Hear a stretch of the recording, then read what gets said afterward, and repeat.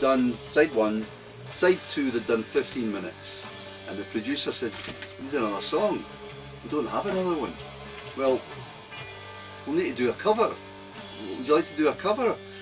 So they weren't too keen on the idea of a cover, so uh, they went out to the pub for half an hour. Tony Iommi came up with the riff, which subs subsequently became Paranoid. Really? He came back in and Tony played it and the producer, can't remember who the producer was, uh, and said, hey that, that that's quite catchy, let's try and get a lyric for that. And they wrote that in about, they wrote Paranoid in about 10 minutes and stuck it on just as a filler Jesus to fill up the album. So that's the way it goes a lot of the time. isn't? Doesn't mean you're recording a Def Leppard album. Well, actually, the last one we done was was Pour Some Sugar on Me. We'd actually done the whole album, and Mutt said, "I think we're one short." Like some, and and we actually done that song in about well, ten days, which was really quick considering the last of the album was like three years. So yeah, that that was the last little bit. It was, Wow. it was the Pour Some Sugar on Me. Same same deal. Really. same, same idea. Yeah. yeah. Well, and same with Turn It Up. Same thing as well, wasn't it? It was Yeah. Like the last one we did. right Actually, yeah. end, yeah. It just goes to show. It's a good recipe, Yeah, isn't it? always need Last another minute. song. Yeah, always need that last song. when you're not thinking about it, when, when there's no like pressure or stress or anything, you go fuck, and it just comes out naturally. It's, it's that's the, that's the really cool thing about it. Mhm. You're not like it's it's not. It's got more integrity because it actually it's a natural. It just flows. You know, it's great. That, that Sparkle Lounge album, that, that was the best one you've done for years. That's a Oh, great album. That, every song in that's a, a cracking song.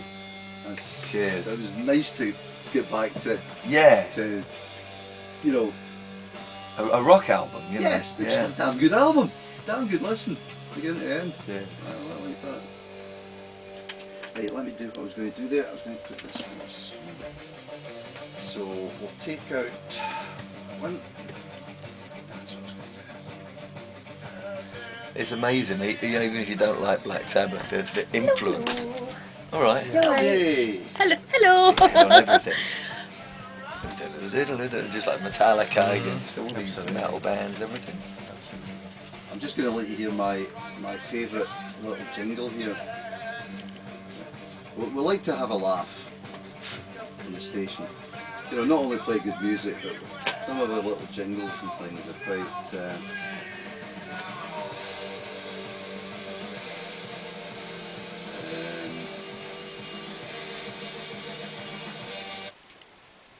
Oh, I can't be bothered saying 96.3 rock radio here, so I won't. Ow, I did.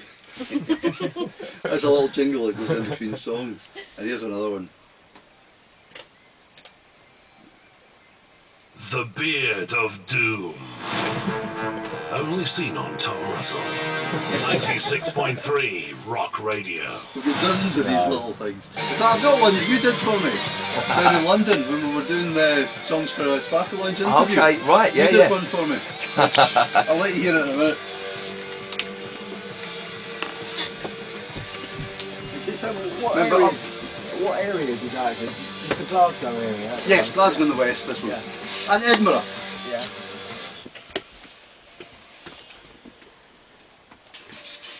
Ah, fantastic. Bringing back some memories, some classic memories from a long, long time ago. Black Sabbath with Black Sabbath on 96.3 Rock Radio. Joining us live in the studio, we've got my cup of tea, Phil Collen of Def Leppard and Man Raze, Paul Cook from the Sex Pistols and Man Raze, and the third member of Man Raze, Simon Laffey, originally in Girl. Hi guys. Hey Tom, how's it going? All right, thank you for coming in. Thanks Uh, for having me. Got to ask you first of all. Last night you were on at the Armadillo. You were uh, opening up for Alice Cooper. How did it go? It was great. I mean, once you're in the building, it was great. It was awful. As if anyone from Glasgow know last night, it's like gal false winds and pouring with rain and everything. But uh, we had a great time. Audience was receptive, and it, it was cool. It was actually really cool.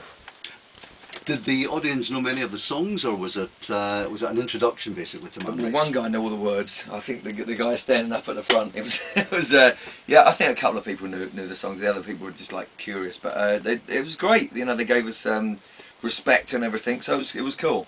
No. Yeah. Paul, perhaps you can tell us uh, the concept of Man Raze. Um, why? Um, well, why? Um, be, because we can, basically. You know, um, Uh, Phil, Phil and Simon originally started the band uh, as a kind of side project to do stuff that uh, Phil couldn't do in the Def Leppard setup, I guess. You know, and they were they were looking for a drummer for a little while, and um, they were looking for me. Funny Actually, enough. specifically Paul. It wasn't anyone else. It was like, Yeah, they said um, the story goes they were looking for me, and um, Phil almost run me over. Funny enough, uh, in, he was driving down Fulham in uh, London, and I walked across the road, and uh, it was a bit of a shock. He goes, hey, I'm looking for you. I said, oh, really? Yeah, no. What for? He goes, oh, I've got this thing I'm doing.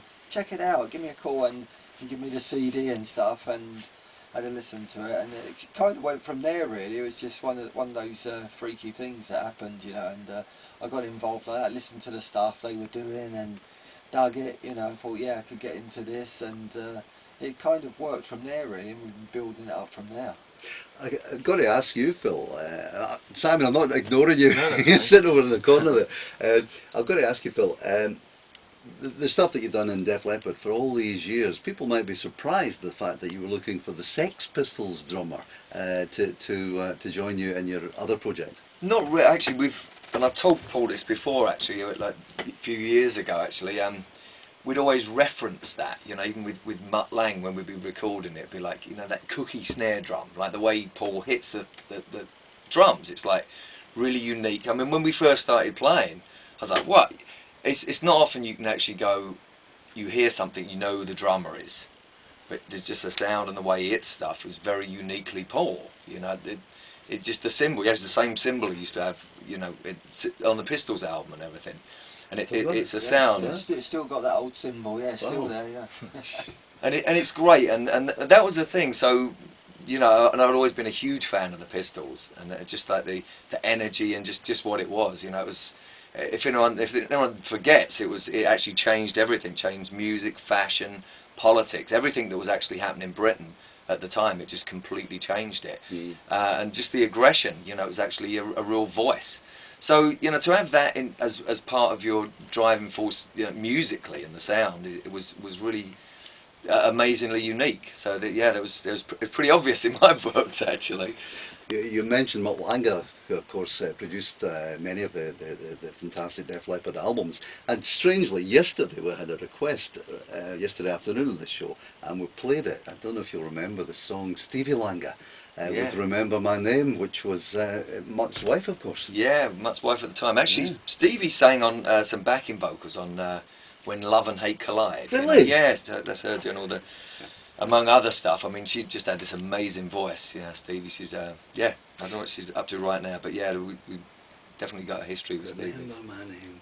Don't if you remember that one, Simon, I do you? don't, no. No, no. Sorry. You, of course, were uh, uh, Phil's compatriot in the, the band Girl way Yeah. back. Uh, your, your memories of these days? Well, I mean, we had a fun time. We were young, we were kind of wild, a little bit over enthusiastic, but we had a great time. Um, looking back, we have no regrets, and we've always remained firm friends over the years. So it was really easy to slot back into doing music with Phil. It was a real pleasure as well. Well, let's hear how it sounds. This is uh, one of the, the singles from the uh, the album, the Surreal album. This is Man Raze on Rock Radio with Turn It Up. There you are. The second track. Faster, isn't it? Wow, I can't believe we're actually doing it slow live. Thank you.